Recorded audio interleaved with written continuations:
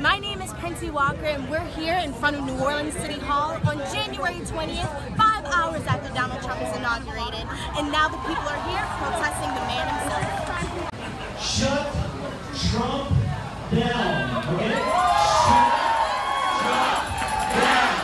New Orleanians from all over the city gathered at Duncan Plaza to join in the anti inauguration protest led by activist group Take 'em Down NOLA.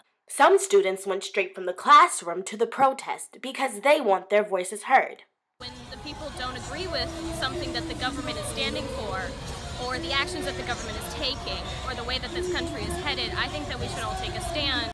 This election made students like Michael Banks question the country's voting system. I really don't like the outcome. I don't like the whole system and way the things are in place, especially like the electoral votes and the popular vote. I feel like if our voice really mattered, why didn't Hillary win? Students like Kai Martin supported the protest because she opposed the rhetoric preached by Donald Trump and his supporters about the LGBT community. There's a lot of violence that I've seen affecting my community, which is like the LGBT community, um, comes from a lot of bigotry and a lot of hatred. Take 'em Down NOLA activist Quest Moore said that the youth are needed to make a change in the country. Y'all are it. It's all about y'all. I mean, y'all are everything. I'm so glad to see y'all coming out. Y'all are young enough, y'all can undo some of this stuff.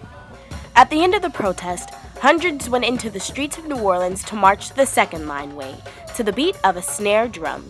Reporting for the Griot, Prinsey Walker.